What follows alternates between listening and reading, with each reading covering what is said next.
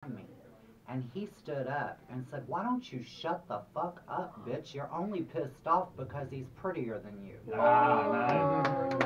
And when that happened, I knew I had found who I was, and there was not ever going to be any kind of. I had to hide the makeup and stuff from my parents when I Mhm. left for school, but I started wearing makeup and jewelry and girls' clothes to school. I just hid it like other girls hide their slutty clothes from their parents, you know? Mhm. That was kind of my methodology. Yeah, I don't know why you looked at, Han- uh, at Candice when you said that, but. That- Uh, yeah, and now. yeah, you don't strike me as the hiding slutty clothes girl. Although, although, uh, and I know you've modeled. Uh-huh. You seem to have a modeling past, don't you? No. There's that picture on Instagram and Twitter. Is that you? Which one? The one of you naked?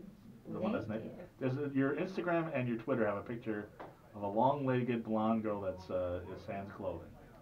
That is not me. Okay, I was wondering. That is a girl I dated. Ah, there you go. Good for her. Well, I open mouth and inserted foot with the B comment.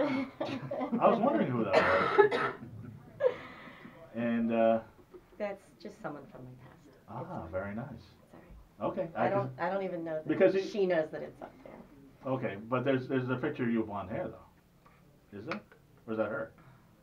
No, that's also her. Okay. I'm very confused. Anyway. Well, I kind of like that. I just confused you.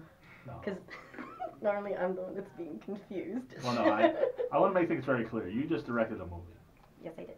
and uh, it's called. It, uh, why the cumbersome title? I Women of Horror. No, no, Women of Horror, Mother's Day, Terror Tales. Yes, because there's going to be m- more episodes coming out. Right. We're going to turn it into like a a series. So th- w- uh, now, We wanted that one to come out um, for Mother's Day. Right. We had that idea. now the Women of Horror, was that because of this whole incident in uh, in HorrorHound, or did you have that concept before? Well, it was a concept that we were kicking. I mean, my my girlfriend Violet and I like wrote that, Ah, so we consider ourselves women of horror. okay. And yeah, maybe it was a little bit of a. Here's your little. You want to see some real women of horror? Take a look at what we're doing. Right. We And don't Violet- draw lines. And Violet Violet plays. Violet plays. Oh, in the movie? Yes. Yeah. Well, she's the narrator in the movie. Yes. Yes. It's a, a Bella Morte. Mhm. Okay. I'm, I'm asking you questions. You know. Oh no, that's correct. Oh, okay, You're- I'm, I'm sorry. I'm shaking my head. I forget I'm on like. You alright? Do I smell? I feel like I No. smell No, because stop I'm it, I'm stop it. sweating so much. No, We'll mist you stop with it. Febreze when it starts to get No, no, trust me. Just it- kidding. The studio smelled far worse than. Well, uh, you know, Mark, you kind of like you get my heart beating a little faster whenever I'm around you, and that was really Aw. Do I really? fun. yes. Wasn't that fun when I walked into the theater and I was totally in costume? I was gonna get to that. You were all. You were all. Uh, yes. You were all. Yeah. You. You. I, I don't want to spoil it. No, because everybody should watch it. It's out on Amazon. Everybody should watch it. But the, you are. Uh, there's a surprise at the end, and Yeah. you're in very macabre makeup. Yes, I am. Yes, I was very surprised. That was fun. But th- that now that is com- something completely different than what I am Miranda and Yes. everything we were doing Th- there. This is based on the '80s horror movies. Ooh, I Like uh, like. Creep, Creepshow, I, I, I imagine is, is one of the inspirations. That is an inspiration. What are the other inspirations for this? Um, Tales from the Crypt. You Mhm. know, yeah, always love that. It's it's an anthology movie. Mhm. There's uh, 15 or how many? It was it 15 in the end. I, I, I think that's what I read. Yeah. I just saw the And we trailer and. I, I appreciate that you're putting my voice in the trailer. That was nice. Well, of course, we loved having you on board with Yes. us. Yes. So it, that so that's very so that was very interesting. So Yes. so you, you actually had shot all the some of these shorts or all these shorts already, and now you package them together. And we packaged them together. And your, your girlfriend Bella Morte is, is kind of an Elvira meets the Crypt Keeper sort of narrator, Absolutely. and she has a she has a mother yes. who needs waking up, so you call the goth comedian, and I won't spoil it. Don't spoil it, please. Let everybody see it. So what's what's the next uh, Women of Horror? What's the next uh, holiday? Christmas, Halloween. I can't really tell you. I'm really sorry. I wish I could. No, but is uh, are the is the Morte family going to be in this one again? Um, again, I really, I okay. No, listen.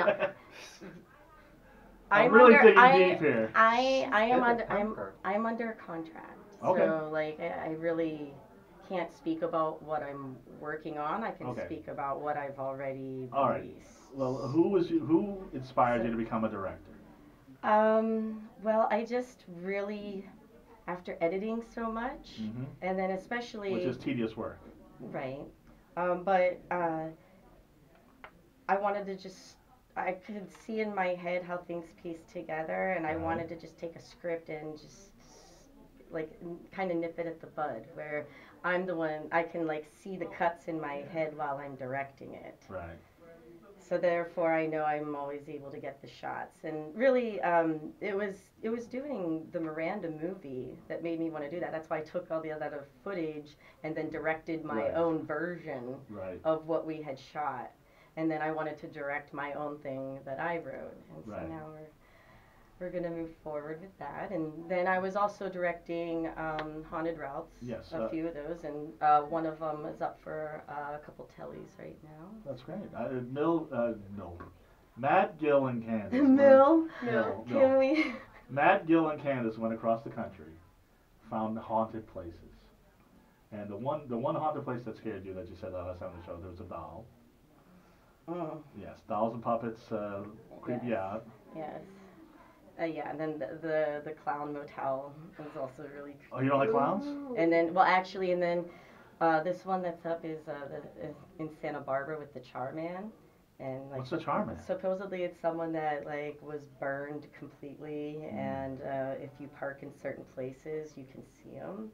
Ooh. Now, Matt and Guil said they didn't see him, but I swear I saw something. I swear to God I did, but they said that they didn't, but I know I did. Mm-hmm. But um, they, I don't know, maybe it's just my head playing tricks on me.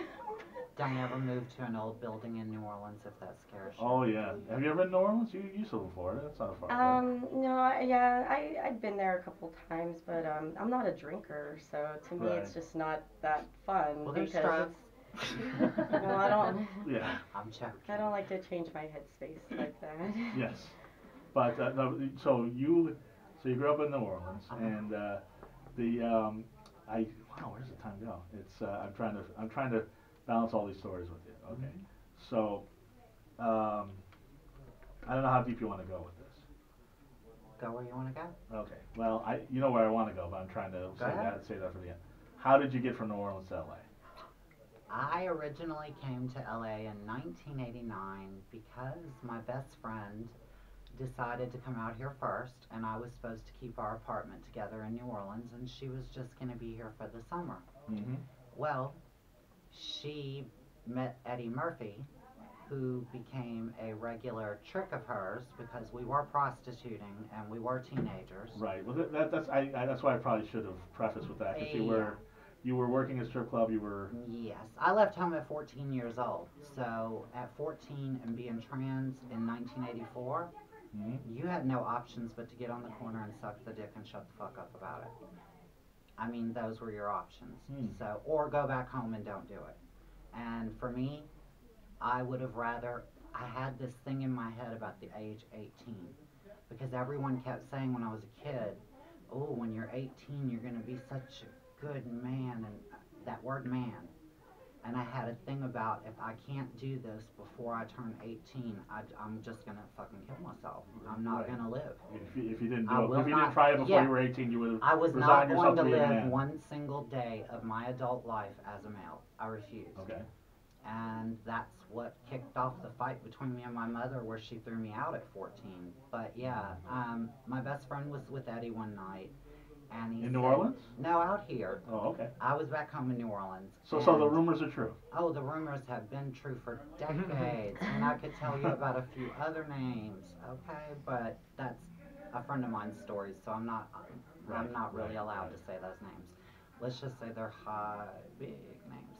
Um. Hmm. Anyway, Trevor, my best friend. or uh, Uh, one of them is one of the most famous attorneys in the world, and the other one was a superhero, and that's as far as I'll go with that. But It's Uh, not Trevor, our producer. I'm just kidding. no, it's not Trevor, the producer, although you're very cute. Thank you. Um, I'm neither